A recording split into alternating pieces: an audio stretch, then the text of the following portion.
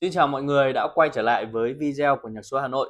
Hôm nay Linh sẽ giới thiệu đến chúng ta dòng sản phẩm DAC tích hợp đến từ thương hiệu SML có tên là DB5SE. Thì so với phiên bản đầu tiên đó là DB5 thường, phiên bản SE này có mức giá hạ nhiệt đến 30%. Cụ thể, phiên bản thường DB5 có mức giá là 13 triệu 500 nghìn. Còn phiên bản rút gọn này, phiên bản thay thế bằng dòng chip khác, chip mới hơn thì có giá là 9 triệu 400 nghìn tại nhạc số Hà Nội. Và chúng ta sẽ cùng đi khám phá xem là một sản phẩm ăn bóc chưa bóc nha mọi người nhá. Linh để nguyên trong hộp này, nó sẽ như thế nào?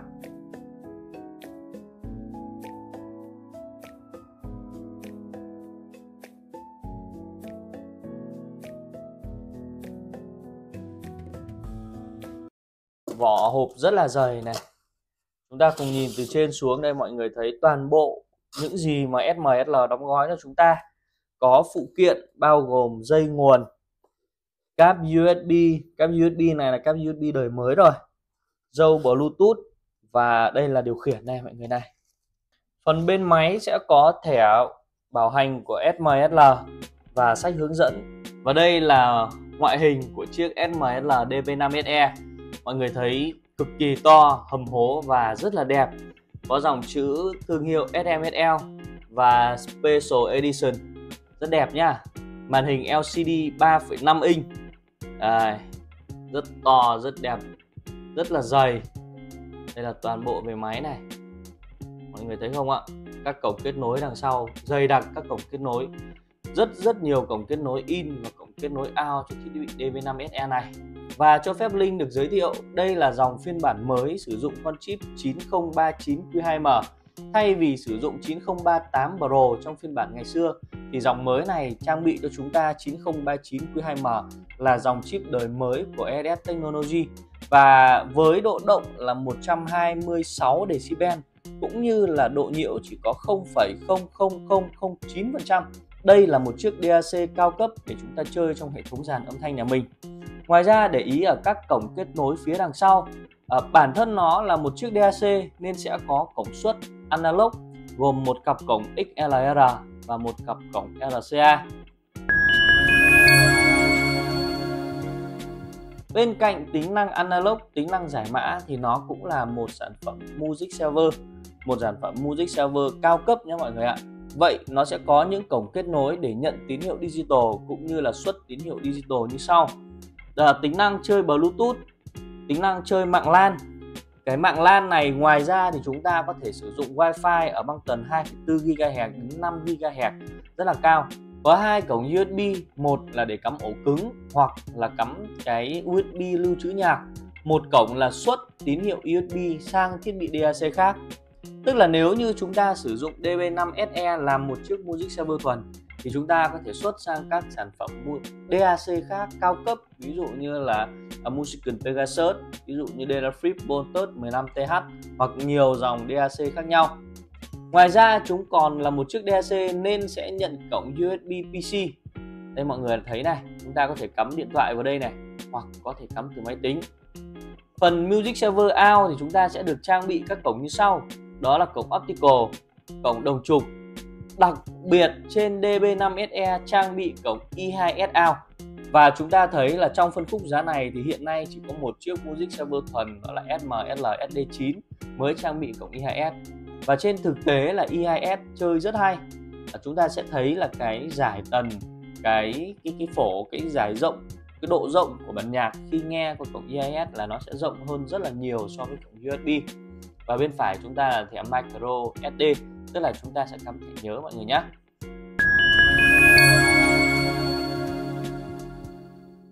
Vậy thì bây giờ chúng ta sẽ cùng khám phá các tính năng ở bên trên sản phẩm DB5SE này nhé mọi người nhé. Đầu tiên là ấn vào cái nút nguồn này. Này thì cái màn hình, cái đèn thông báo của chúng ta sẽ chuyển từ màu đỏ sang màu xanh. Các nút điều chỉnh tua bài quay lại hoặc là dừng thì trên thực tế là các cái nút điều khiển này chúng ta hoàn toàn có thể điều khiển ở trên remote từ xa. Hoặc chúng ta có thể sử dụng các cái app điều chỉnh trên điện thoại như 23 Music hoặc là My Connect. Và bây giờ Linh sẽ thao tác từ đầu với một sản phẩm mới tinh nhá. À, chọn ngôn ngữ thì chúng ta sẽ để là English tức là tiếng Anh này. Ở đây có tiếng Anh tiếng Nhật và tiếng uh, Trung. Chúng ta ai biết tiếng nào thì dùng tiếng đó nhá vào bảng menu hệ thống sẽ có các phần 6 phần như thế này.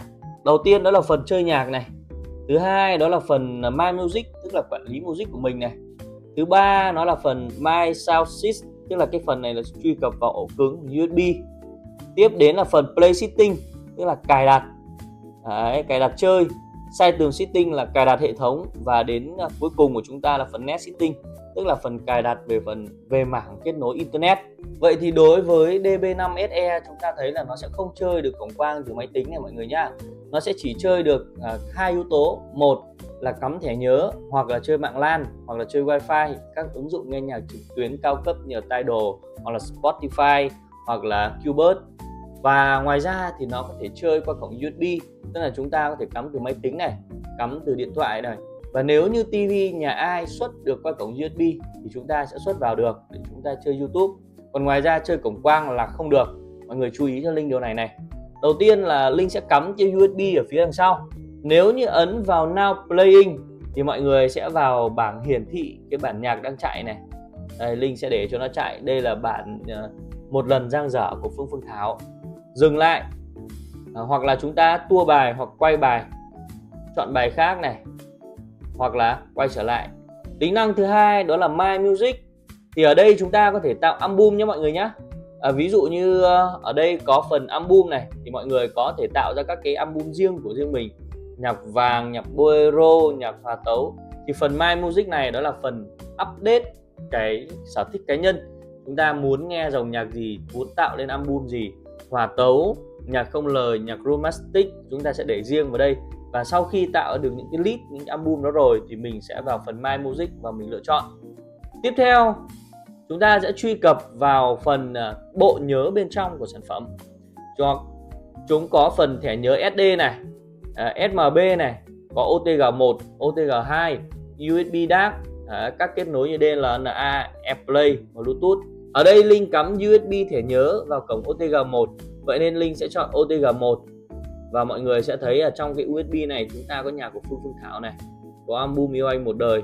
Ở đây thì chúng ta có thể tùy chọn các cái bản nhạc theo trong album. Và mọi người có thể để ý nhạc ở đây là nhạc MQI nhé mọi người nhé. File nhạc MQI đây này. Đó. DB5 SE đọc nhạc MQI rất tốt và rất là mượt.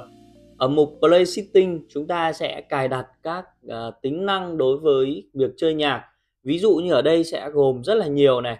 Phần uh, gap list playback ví dụ như chúng ta sẽ có là phát lại không ngừng nghỉ tức là nó sẽ phát đi phát lại cái bản nhạc đó này. Rồi uh, play mode đó là các cái chế độ phát của danh sách này. Và folder skip tức là chúng ta có thể chuyển đổi bài hát ở các cái folder khác nhau ấy mọi người ạ. Rất là nhiều ở phần tính năng này. Và quan trọng ở đây nó là phần digital filter tức là ở đây nó chính là từng chế độ lọc tín hiệu hai phần ờ, uh, linear fast fast roll up tức là xử lý nhanh cái tín hiệu này. Ở đây chúng ta sẽ có tổng thể đến 8 phần bộ lọc tín hiệu digital. Thì mọi người có thể lựa chọn từng bộ lọc cho từng dòng nhạc khác nhau phù hợp với đôi tai của mình nhé à, ờ, còn đối với linh thì linh hay lựa chọn cái phần thứ ba này mọi người ạ. Đó đây là cái phần linear fast slow này tức là nó sẽ sử dụng cái ờ, pha lọc chậm gợn sóng thấp mình nghe với cái cảm giác nó dễ chịu hơn đối với nhạc vàng nhạc bolero. Sẽ là cái gì đó nghe nó chậm rãi nó thư thái hơn và nó có cái độ cảm xúc rất là cao. Mục thứ tư đó là size sitting, cái này cũng quan trọng này. À, đây là phần update music mode. Cái này đó là cái bản phiên bản update ấy. Thì chúng ta để auto thôi. Đây đến, đến update music cũng vậy này. Update music tức là khi mà chúng ta muốn đẩy các cái bản nhạc hay là các cái file vào trong á phần output mode sẽ có PO và LO thì PO là sẽ chơi cho cổng tai nghe 6.35 ly. Người sẽ kéo tai nghe nhé. Còn phần LO là chúng ta chơi cho hệ thống dàn âm thanh lớn có thể xuất qua cổng RCA hoặc cổng XR phía đằng sau. Đến phần EIS inverting tức là phần đảo ngược cái chân của EIS thì ờ, đối với nhiều dòng DAC khác nhau thì chúng ta cần phải đảo ngược cái chân này đấy. Thì mọi người có thể chọn EIS inverting làm sao cho nó phù hợp nhất với cái kết cấu của dây EIS à, ờ, fix some đây. Chúng ta có thể lựa chọn tín hiệu đầu ra ở tần số bao nhiêu. Ví dụ như một bản nhạc CD của chúng ta thường là để ở 44.1 GHz nhưng à, chúng ta muốn nghe nó chất lượng hơn muốn nghe nó mượt mà hơn thì chúng ta có thể để ở 96 này có thể để là 176 và tối đa ở đây của chúng ta là 192 kHz rất là hay nhá đây là phần đẩy tần số lấy mẫu tức là nó sẽ giả lập đấy mọi người ạ. Giả lập một cái tần số lấy mẫu cao hơn cho chúng ta nghe hay hơn mượt hơn chi tiết hơn. Rồi DSD output ở đây sẽ có ba dạng DSD xuất ra D2P, DOP và native. Có nhiều dòng DAC khác nhau nó nhận tín hiệu D2P thì chúng ta chọn D2P à, có dòng thì nhận native chúng ta sẽ để nhận là native và có dòng để DOP mọi người cũng sẽ lựa chọn với cái DAC phù hợp. Nếu như sử dụng DB5SE là một chiếc Music Server thuần phần USB mode tức là cái phần mà chúng ta sẽ cho tín hiệu chạy qua cổng USB rất là đơn giản rồi.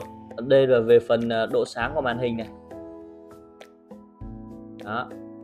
À, về phần thời gian sáng này chúng ta có thể để nhiều giây khác nhau. 5 giây tắt 15 giây 45 giây hay là 3 phút 5 phút tùy mong muốn của mọi người. Phần à, ngôn ngữ ở đây cũng chỉ có ba ngôn ngữ thôi và linh chọn là tiếng Anh rồi gần như là hết rồi. Reset à, uh, sai từ update. Như vậy là phần cài đặt trong hệ thống của chúng ta là đã toàn bộ rồi. Cuối cùng cũng rất là quan trọng đó là phần kết nối không dây. Đối với DB5SE thì trang bị cho chúng ta bốn cách kết nối không dây. Bluetooth Wi-Fi DLNA và AirPlay đối với những tính năng như thế này thì mọi người hoàn toàn có thể kết nối để chơi nó một cách rất mượt mà. Ví dụ chúng ta có thể tải phần mềm Hi-Bye Music. Đây mọi người thấy nhá. Có thể tải Hi-Bye Music và kết nối với DB5SE để chúng ta quản lý nhạc, tức là quản lý ổ cứng, quản lý các cái thư mục. Và chúng ta có thể sử dụng phần mềm M Connect Live hai thằng cùng kết nối Wi-Fi, Linh đã hướng dẫn cái này rất là nhiều rồi. Y như trong sản phẩm SML SD9 và ở đây thì chúng ta có thể chơi các cái phần mềm chơi nhạc trực tuyến cao cấp như là Tidal hoặc là Cubert đây mọi người có thể thấy này rồi Linh sẽ cố gắng uh, hướng dẫn mọi người trong video khác video tới nhé và với DB5 SE thì hiện nay đang có mức giá là 9 triệu 400 nghìn tại nhà số Hà Nội có miễn phí vận chuyển và tặng quà tặng tương ứng cho chúng ta nhé à, Linh sẽ hướng dẫn kết nối các cái tính năng chơi Wi-Fi, chơi DLA, chơi AirPlay và chơi ổ cứng ở trong video tiếp theo. Cảm ơn mọi người đã theo dõi video và hẹn gặp lại trong những video tiếp theo.